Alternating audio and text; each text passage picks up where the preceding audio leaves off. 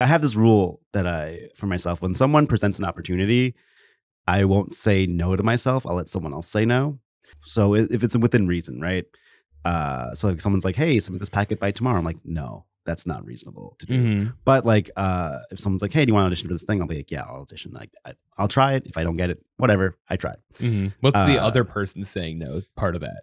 The uh, it's just like the other person being like the casting director or whoever like Oh. whoever like don't tell like if i'm gonna be told no let someone else tell me no don't tell don't let myself tell me no Whoa, I really like that. Yeah. It's just like go until like you hit the ceiling. yeah, Yeah. exactly like let's other people set the limits for you don't let yourself set your own limits I like that a lot. um That's gonna be the clip. yeah